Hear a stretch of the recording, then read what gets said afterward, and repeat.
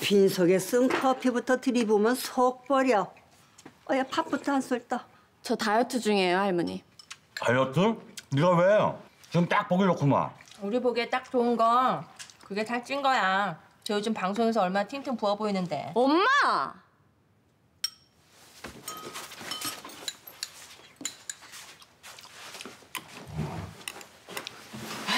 그러니까 뭘 그렇게 방송에서 그렇게 맛깔나게 아구아구 먹어대냐고. 그냥 대충 신용이나 하고 말지. 대충 먹으면 실감이 나? 시청률이 오르냐고. 역시 프로페셔널.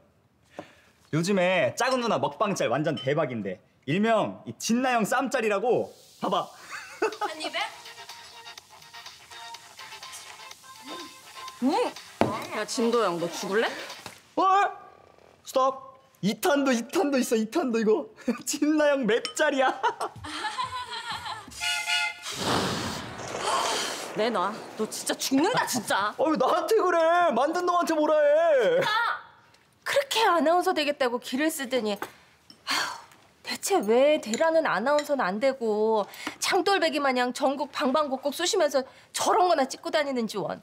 아이고 당신도 참 뭐 아나운서나 리포터나 뭐 방송빵 먹는 거나 한 가지지 뭐.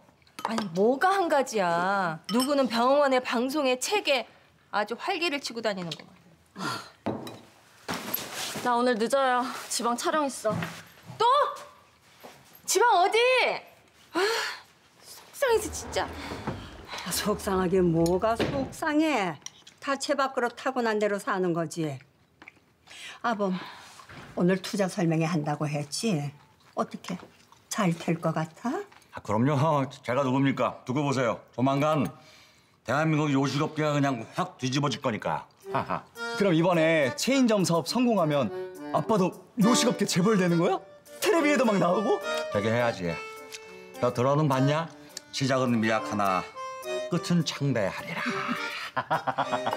첫 끝발 개끝발 되지 않게 잘 좀 해. 나도 제발 사모님 소리 들으면서 우아하게 좀 살아보자. 우아하게.